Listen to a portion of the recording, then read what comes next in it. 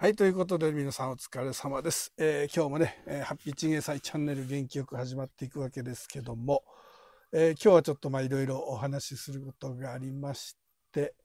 えまずですね、え今までの動画はね、え結構というかかなりね、音声が聞きづらかったかと思います。大変皆さんにご迷惑かけたかと思うんですが、今日は割と声がね、しっかり入っとると思うんですが、それはですね、これね、ここマイクありますけども、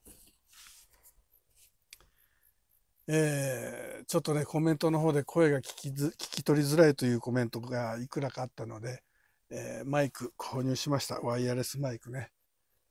まあこれで普通通りの音声じゃないかなと思うんですけども、まあもうね、ちょっと僕の iPhone がそもそももうだいぶガタが来てまして、なので、ちゃんとあの通常通り機能してもらえればこれなくてもそこそこ音声拾うと思うんですけどもちょっとねマイクとスピーカーの調子が、まあ、カメラもなんですけどもちょっともう調子悪くてですね、えーなかなかまあ買い替えるにも高いじゃないですか iPhone ね。なのでまあちょっといろいろ YouTube でレビューを探して、えーコストパフォーマンスが一番良さそうなやつねウランジっていうんですかね。ウランジのワイヤレス買いましたんで。これからはバッチリだと思うんでよろしくお願いします。なので今日はちょっとね、えー距離をとって今までよりは少し引き気味の絵でね、えーも音声がちゃんと入るんじゃなかろうかなと思います。今まではその声のことがあったんでね 近くで撮ってましたけどもこれからはこんなアングルでいきたいと思います。はいということで今日の話題なんですけどもちょっとねこのモフモフをマイクにつけるモフモフを風よけですねあれちょっと家に忘れてきたんで風が吹いたらちょっと風の音が入るかもしれんのんですがそこはちょっとご了承ください。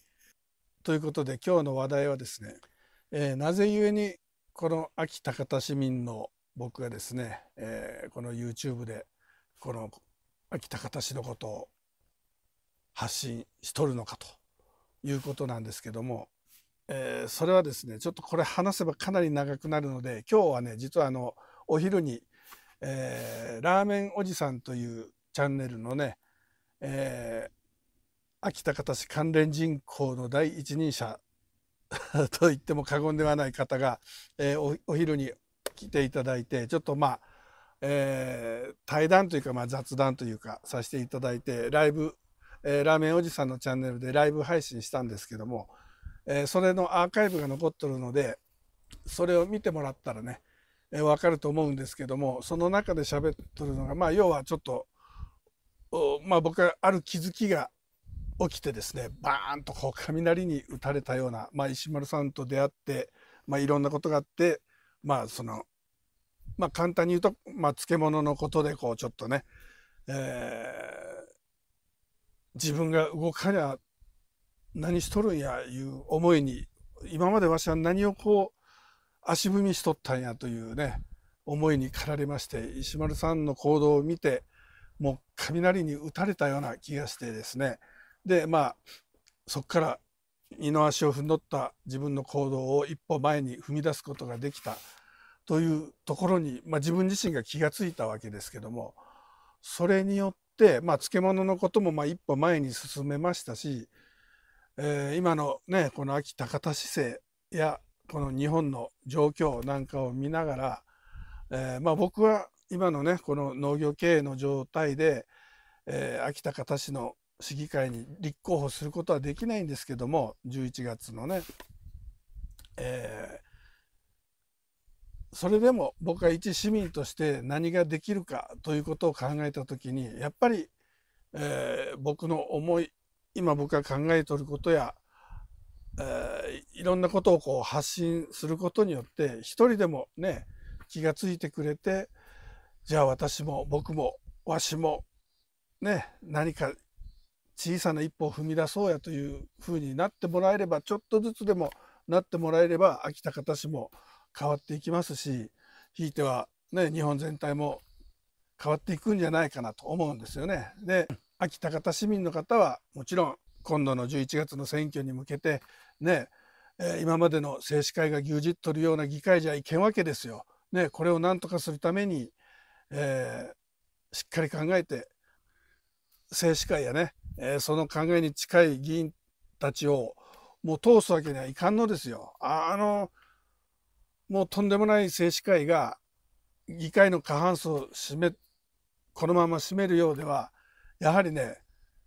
かなりこれからの秋田形で厳しくなると思いますしもう話にならんと思うんですよね。ですから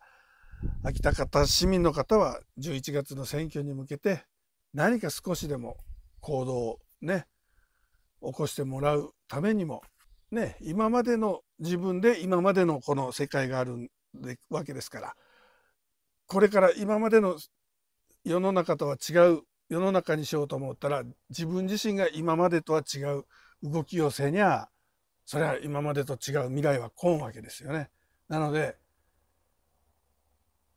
そこにね気がついてほしいですし気がついたからにはちょっとでけ動こうやということですよ。なので秋田方市外の方はそれぞれの自治体でね、えー、そういう活動をしていただいてなんかちょっとまあうまくまとまってないかもしれませんがなんかそういう思いで、えー、この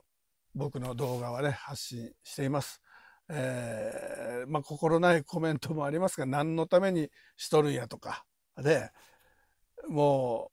う市民市内の方は秋高田市内の人はほとんど見とらんのんじゃけもうやめてしまえとかねいう 心ない声もありますけどもまあそれもねちょもちょっとというかかなりずれた考えですけどもあの、まあ、今言ったように市内の方も市外の方もねそれこそれを全部ひっくるめてオール秋高田ですからねいうことで、えー、皆さんと一緒にね今後も秋高田市を盛り上げていきたいなというふうに思っております。まあそれがねちょっとずつほんとこう広がっとるなというのも感じますし先日もあのお盆の何日だったかな母ちゃんとま隣の吉田町のね夢タウンっていうスーパーがあるんですけども、えー、そこへ買い物に行ったらあの女性の方が「いつも YouTube 見てますよ頑張ってください」いうふうにね声かけてくださってまあちょっと突然のことだったんでびっくりしてちょっと僕自身が不愛想だったかもしれませんがちょっとびっくりしたんででも本当嬉しくてね母ちゃんとはずっとあの「いやああやって声かけてもらったら嬉しいね言うてねずっと話もしてましたし。で今日は今日でね、えー、まあラーメン屋のおじさんは、えー、突然じゃなくてまあちゃんとねアポを取ってもらって、えー、今日のコラボということになったわけですけども。そういうふうにまあ来てもらったりですね。いろんな方面から。なんかこうねちょっとずつハッピーの輪が広がっていけばねいいんじゃないかなと思います。で今日ねちょっとこのラーメン屋のおじさんが来られた時の動画がありますのでちょっとそちらをご覧ください。じゃあハッピーさん。はいあのサインをいただいてもよろしいですか？やれやれまあ。サインじゃサインえー、書いたことないけど、ね、で母ちゃんも後で書いてよ。ラーメンおじさん。からリクエストトップインフルエンサーなんですから。えー、逆じゃないの？嬉しいなど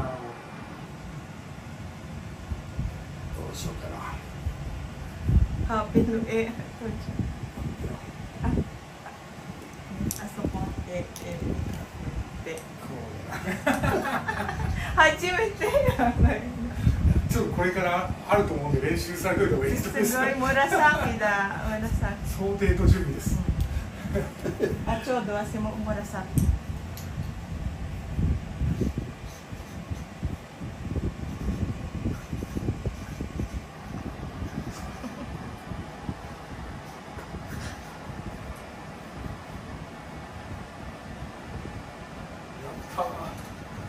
しいな食えたらめ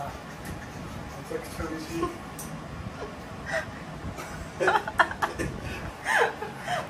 ごいな。ラーメンのじさん。初めて父ちゃんがサイン。はい。じゃあ母ちゃん。私はできん。えなローマ字でいいっけ何か父ちゃん。名前でも何でもええがなベイベイって書いてくれるじゃない Bebe ni eh. うん。ニックネームがベベなんですよ。ベベさん。ベベさん、ベベちゃん。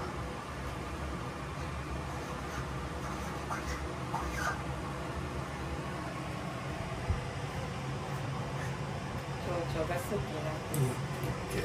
今日。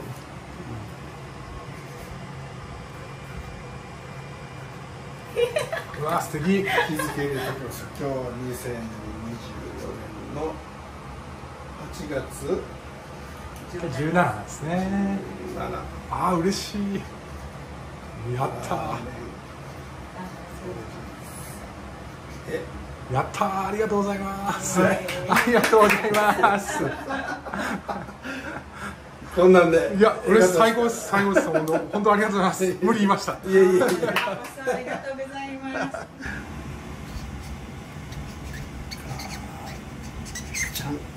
まあ素敵。はい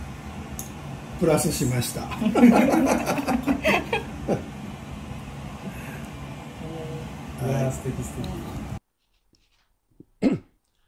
はい、ということで、皆さんお疲れ様です。えー今日はですね、はるばる秋田方市の関係人口の第一人者、ラーメンおじさんに来ていただきました。あのー前半、前半といいますか、ラーメンおじさんのチャンネルで、ライブがアーカイブで残っておりますので、あの、見られてない方はぜひ見ていただいて、チャンネル登録とグッドボタンの方よろしくお願いしますということで、えーちょっとまあ、そんな感じで、ね、お話を簡単にお伺いしたいんですけども、なんか、まあ、秋田方市民ではないのにもかかわらず、はい。秋田方市が大好きだということで。大好、きですね。ありがたいじゃないですか、ほんま。ほいで、なんかいろんなあの動画見させていただいたら、たくさん寄付もね、ええ。いただいとるみたいで、秋田方市に。茶碗一杯分の寄付です。ありがとうございます。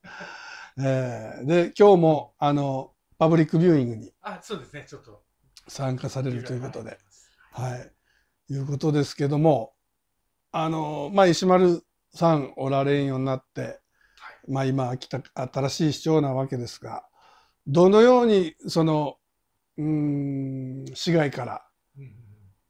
うん。うん見見守るというか、どう、どういう感覚でこう、秋田方市政を、そうですね、うん、まあ、姿勢についてはですね、うん。石丸さんの後なんで、うん。誰がやっても難しいと思うんですよね。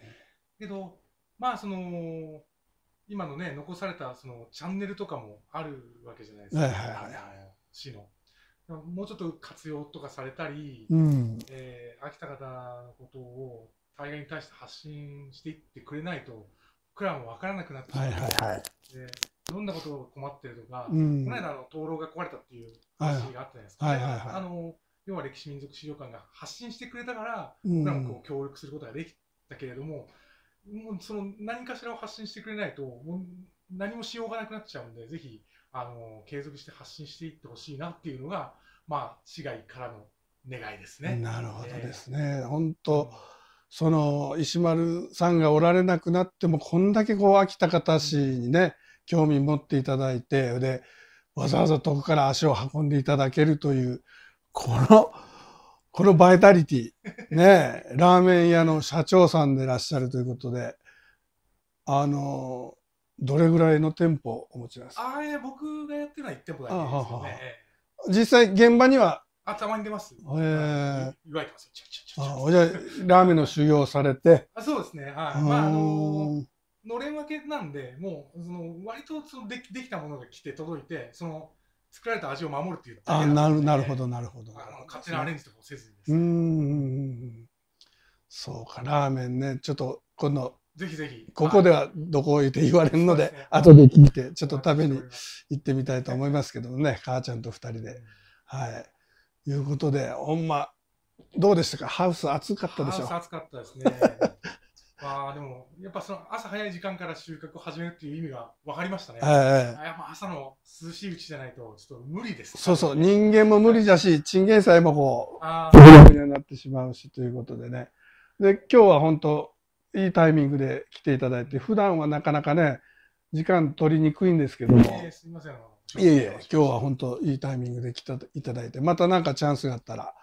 あの、ダピンチさんとか、いろんなこう、そうね。秋高田市関係人口 YouTuber がたくさんおられるので、みんなでね、何かできたらいいんじゃないかなと思いますので。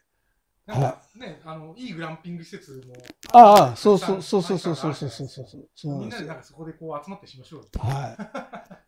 ということで。今日はラーメンおじさんに来ていただきましたということで、この辺で終わりにしたいと思います。それでは皆さんまた明日、ハッピーチンゲン菜、汗が止まらんで。はい、という感じで、サインまで求められたりなんかして、で、僕があの、さーっと書いたのは、あれ、なんか小学校の時からなんかやるじゃん、自分のサインを作ってみるじゃないですか。なんか小学校の時にあんなん練習しとったのを、多分その時とはもう全然違うと思うんですけども、ただ手がこう動くまんま書いてみたので、もう二度と同じのは書けないと思うんですが、あの、まあ、サインなんかしたことないんで、ちょっと戸惑いましたけども、まあまあ、ね、えーラーメンおじさんのコレクションの一枚に加えていただいたということで、非常にありがたかったですけども、まあそんな感じでね、まあ今日はあの、僕の仕事の昼休憩の間ということだったんで、ちょっとあんまり時間がね、えーちょっとかなりタイトだったんで、また今度、ゆっくりね、スケジュールがあれば、えーまたがっつりコラボできればなというふうに思います。えーまたがっつりコラボできればなというふうに思います。2回目のエンディングでございますけども、今日はこの辺で終わりにしたいと思います。それでは皆さんまた明日、ハッピーチンゲ祭ラーおじいしまるさんに会えたかの